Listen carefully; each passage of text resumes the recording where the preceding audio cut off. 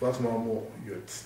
Ja, wir können noch weitergehen. Wir haben ähm, hier zu den Empfängern. Okay, jetzt, ja, ein bisschen Empfängertechnik machen. Empfängertechnik. Wir haben verschiedene Empfängertypen.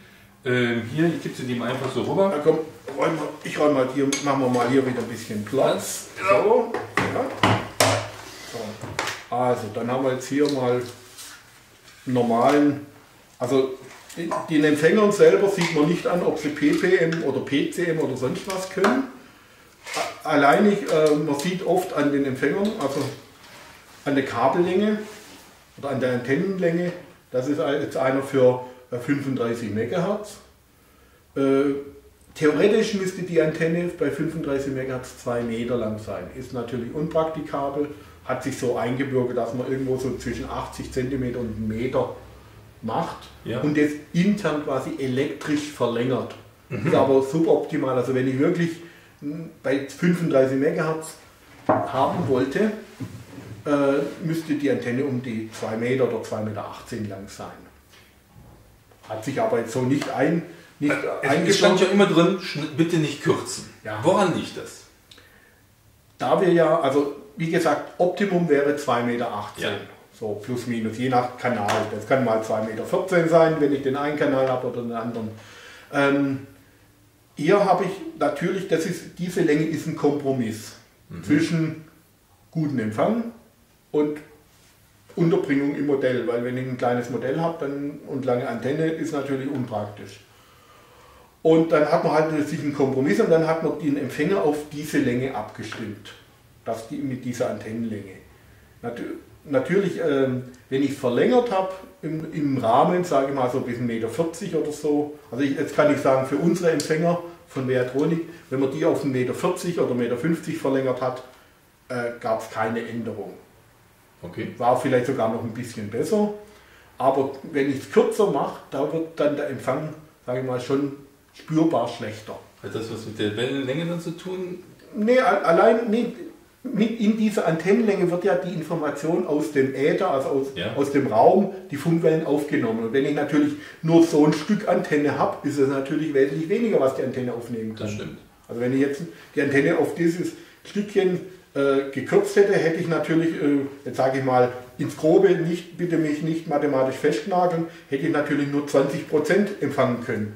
Oder hätte um, im Umkehrschluss nur 20% Reichweite. Ja, okay. Ungefähr. Okay. So. Und deswegen sollte man die Antenne so die in, lassen, wie, wie sie vom Hersteller empfohlen worden ist. Äh, anders ist es jetzt zum Beispiel bei, bei gerade jetzt mal bei 2,4 MHz. Da haben wir jetzt die Antennenlänge. Da ist die optimalen, äh, optimale Antennenlänge, jetzt egal ob, ob jetzt Veatronik-Empfänger oder Spektrumempfänger, um die 30 mm. Mhm. Also bei 2,4, also 2400 MHz, entspricht die optimale Antennenlänge um die 30 mm. Bei 35 MHz wäre es zwei, über 2 Meter gewesen. Also da bin ich schon am Optimum, sage ich mal.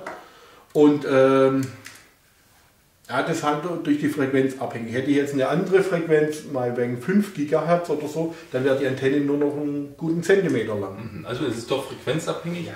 Also die Welle die Wellenlänge, ja. Also die, die Antennenlänge selber errechnet sich im Prinzip daraus Lichtgeschwindigkeit, also 300.000 Kilometer pro Sekunde, geteilt durch die Frequenz und davon ein Viertel.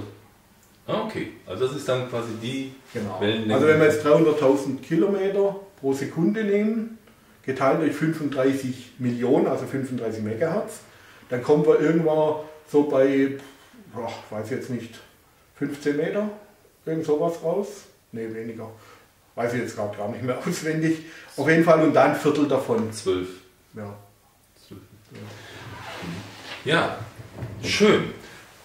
Und jetzt haben wir hier verschiedene Empfänger bei uns jetzt hier vorne liegen. Also die, die sind jetzt quasi so typische 35er. 35 oder 35 40, 27, 35, 40 Megahertz. Also nach der Berechnung durften sie sich gar nicht in der Länge groß. Ne, die wurden halt dann bei 27 Megahertz war halt die Antennen Länge, äh, weiß ich nicht, 4 Meter oder wäre da optimal gewesen, aber man hat sich hat es dann so hingebogen, dass man irgendwo bei 80 cm 1 Meter ungefähr ist, weil das alles auch praktikabel ist, weil alles andere kriege ich in einem Modellflugzeug nicht sinnvoll unter. Mhm, Also jetzt haben wir zum Beispiel hier auch eine Antenne. Ja, das ist auch 2,4 GHz. 2,4, wobei da auch die letzten, das sind ungefähr auch die ungefähr 3 cm, das Ja. ist das gleiche wie hier. Ja. Oder wie bei Spektrum, das gleiche äh, so wie hier. Da ist, ein, ist noch ein Teil im Gehäuse drin, deswegen guckt da nicht ganz so viel raus. Aber es entspricht hier und hier im Wesentlichen das gleiche. Also, weil bei die Physik ist bei Spektrum wie bei Veatronik gleich, also die, die Wellenlänge ist da die gleiche. Da können wir, können wir nichts äh, äh, ja, neu erfinden oder sonst was. Ich glaube, bei Hightech habe ich was gesehen. Die haben hier unten noch so ein Bubbel dran. Ja. Was ist das? Also so, irgendwie so ein längliches Teil. Also hier die, die Antenne selber, das ist hier ein abgeschirmtes Kabel und das hier ist die, die eigentliche Antenne und die haben die Abschirmung quasi hier umgestülpt, ja. auch auf 30 mm. Dann habe ich nämlich einen schönen Dipol, heißt es. Also ich habe Ah, okay. hier ein, ein, eine Hälfte der Antenne und hier die andere Hälfte der Antenne. Also eine Art Masse. Oder wie man Ja, ja, so kann man sagen. Also das, Ge oder das Gegengewicht und so weiter. Ist hier bei Spektrum ist es ein bisschen anders. Die haben hier kein abgeschirmtes Kabel, sondern die haben nur das innere Kabel. Ja. Und das, was hier das Gegengewicht ist, ist, die, ist, der, ist das andere Stück Draht. Achso, also keine zwei Antennen. Da, also, nein, eigentlich ist es, ist es eine Antenne. Ah, okay. Also äh, das ist die Antenne und, der- und der Gegenpol quasi dazu. Mhm, Hier bei dieser Antenne oder auch bei diesem, dessen abgeschirmte Kabel ist, das die Antenne und die Abschirmung ist der Gegenpol. Wenn ich jetzt, wie, bei, wie du sagst, bei Hightech nur hier so den, den, den Gegenpol genau auf 3 cm mache, dann kriege ich da noch ein bisschen Gewinn raus. Also habe ich einen Ah, besseren okay. Empfang. Okay. Aber besserer Empfang heißt immer, es gibt es nicht umsonst.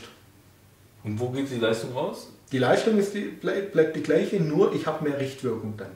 Ah, okay. Also das richtet sich. Ah, Genau, es Der ist ja so, ist ich habe ja bei einer Antenne, also beim, äh, wenn ich jetzt eine Sendeantenne habe Mhm, oder auch eine Empfangsantenne, habe ich in axialer Richtung, also in der Verlängerung dieser, habe ich immer ein Minimum. Mhm. Und ich habe rundrum, habe ich eigentlich einen guten Empfang. Das, Also sieht, so, aus, so ein Donut. das sieht aus wie so ein Donut Ja. oder wie so ein Apfel, wo, wo, der, wo, wo der Stiel und, der, und das Ende so nach innen gehen, wo, wo ich quasi einen Empfang Also ein Kreisrotationskörper. Genau, Ja. sowas, ja.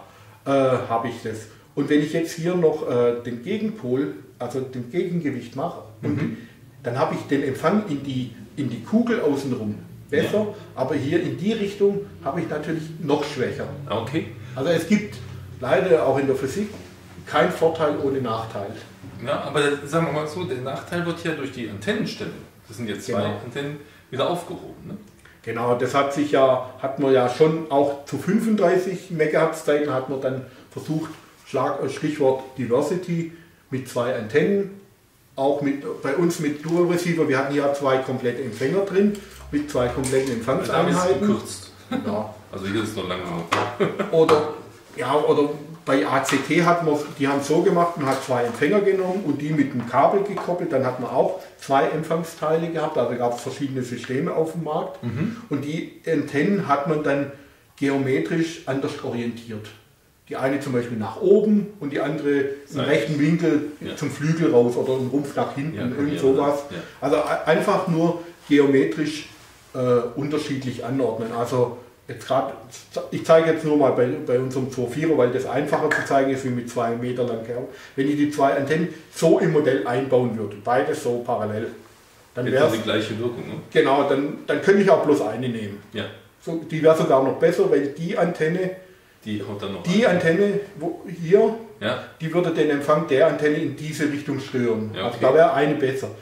Deswegen, wenn, dann macht man die eine in die, so in die Richtung, dass ich irgendwo einen 90-Grad-Winkel habe Ja. oder so einen 90-Grad-Winkel oder äh, ich, ich sage immer, ich empfehle immer die Antennenverlegung so, dass man, egal wie das Modell liegt, eine von beiden Antennen sieht. ah, okay. Logisch. Weil, okay, da kommt jetzt eine Eselsbrücke, ja, verstehe ich. ja, gut. da kommt jetzt nochmal